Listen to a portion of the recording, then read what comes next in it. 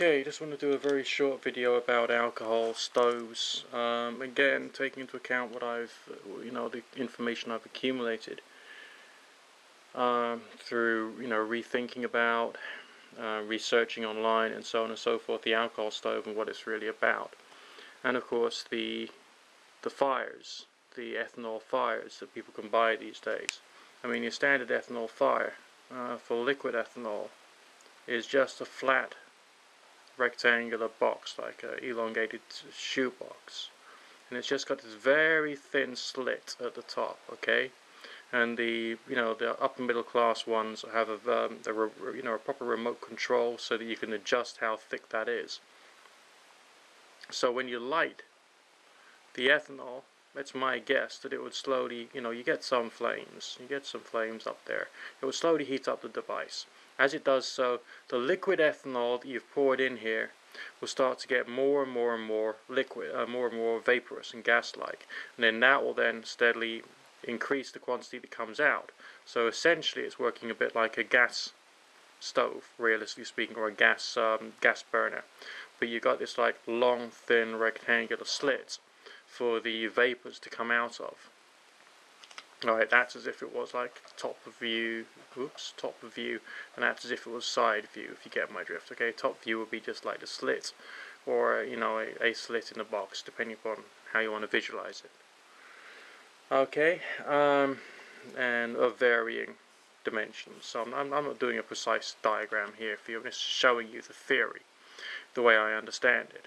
Now, when you look at your Trangia type stoves. I mean, some of these are quite curious because uh, you can have a container, sometimes with no seams, all right, and it could have an inner wall. Now, this inner wall doesn't necessarily go right the way down to the bottom there at all. It just doesn't do that. Uh, or if it does, there'll be just a little opening to allow the liquid fuel which you pour into here, okay, liquid fuel to be able to seep through here because like between the walls you've got a wicking material. Now that wicking material, according to my research and playing around, can either be uh, gl um, glass wool, sorry, uh, fiberglass basically, or it can be steel wool. And there's certain types of fiberglass, which are fiberglass type stuff, which is specially designed for, for being heat resistant. And so that can be a, your wicking material. Now, these stoves sometimes have, you know, a capping going over there, but a little aperture there, a little hole on the side. And the same on this side here, okay? Now, you light it. You light your fuel in the middle there. As that burns and starts to give off flame, it heats the whole device. As it does so, it starts, starts to increase the temperature in the walls. As it increases the temperature in the walls, some of the alcohol which is now wicked up the walls then turns into a vapor. As it does so, you start to get it jetting or streaming out of here, and eventually you get flames coming out the side. So from on top, what it looks like is uh, basically a gas ring. You got the center of your pot there, and you end up with a flame there, there, there, there, there, there, just like a gas hob. Okay? And so again, that's from the side and that's from the top. So what what you could do if you're using ethanol is to try and create something which has uh, which works like this. So what I could do is get a wicking material. Maybe that'll be a fire resistant glass wool or it could be steel wool, maybe a stainless steel wool if it's a good enough one made by a reputable company, hasn't got all those ghastly chemicals you get from Chinese manufactured crap all over it, you know. Um, and just try and create a cylinder of metal to go into the middle, maybe even just a rigid aluminium foil, um, uh, you know, a more rigid, stronger type of aluminium foil than just kitchen foil, maybe, okay and then maybe it, you know we can get the wicking and then we can just get flames going up the sides. Or if we're really clever we can try and do a jetting thing around it. Pardon me around the outside there. Oh, I don't know whether I'm quite clever enough to do that. And anyway it depends upon the apparatus I get which shop I get it from and the rest of it. Some um, YouTube videos talk about some aluminium bottles the you slice up so you've got the base of the aluminium bottle which can be like that roughly speaking okay? I'm, I'm, I'm not an artist I'm sure you can tell. And then the top of the bottle which would normally be you know going up there you slice it off and you turn it upside down. So it's more like a funnel of this aluminium bottle which goes down to there okay or maybe you want to slice off those bits. And so you get a seal there you get a seal there. So it's starting to look already like this over here isn't it? Because you, you got an inner wall you got the outer walls and you got to you know you make sure you got a gap. And so what you could do is have a, a filling material but some of the ones I've seen they don't have a filling material there. So they just rely upon the fact that there will be once you've lit your liquid once you've lit the liquid, okay, there'll be enough heat to be able to vaporize some of this stuff. So when you've got an aperture or a hole there and there, which you can drill, you will then get your natural flames coming out the side. Alright? And sometimes they light these things with the help of um, a band which is wrapped around the waist of it, so to speak, of the same glass fiber, heat resistant glass fiber cordage which goes all the way around the middle.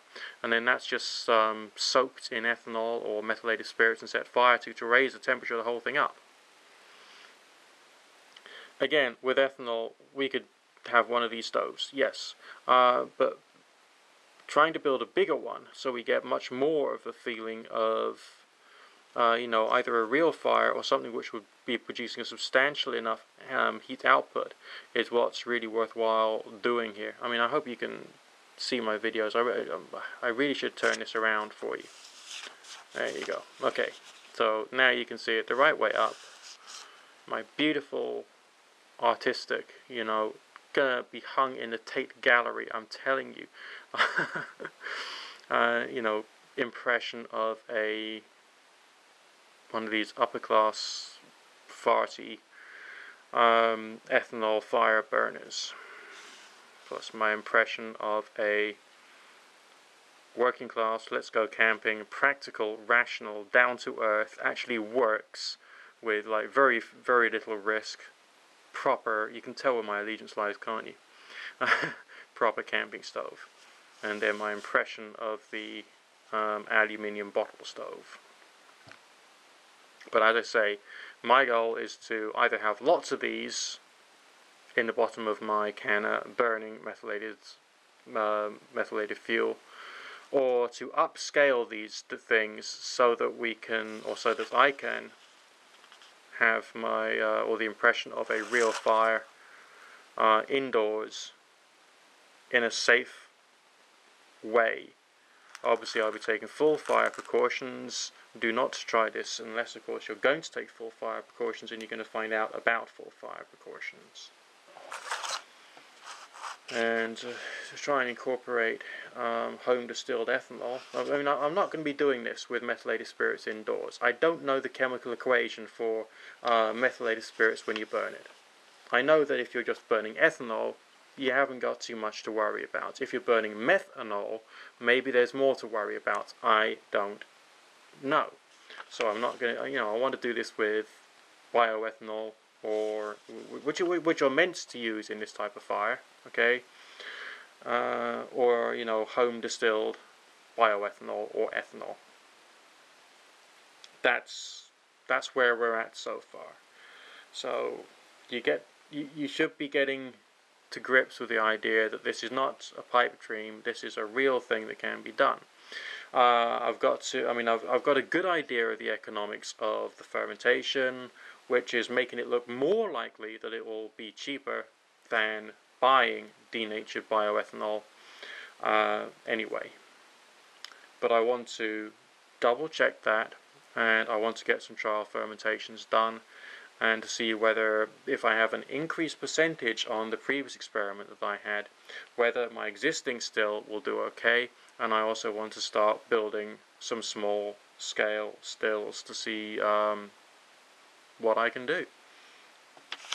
Uh, local supermarkets uh, cost of sugar is not too dear at the moment, so we're moving in the right direction. Hey presto, there you go. One of these days I will be paid for my artistic exploits, I'm telling you. yeah, and pigs might fly, and Alex Jones might stop being a conspiracy theorist, and God alone knows what else. Okay, play it cool.